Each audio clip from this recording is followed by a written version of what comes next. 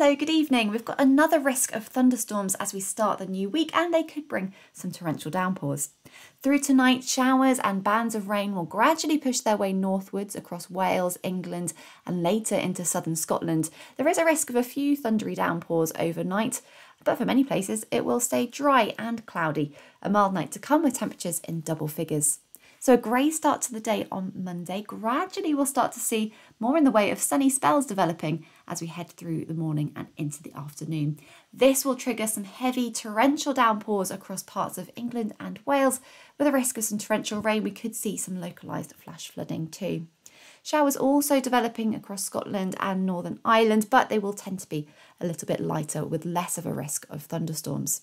So through Monday evening, still that thunderstorm risk continues, potentially some further heavy downpours.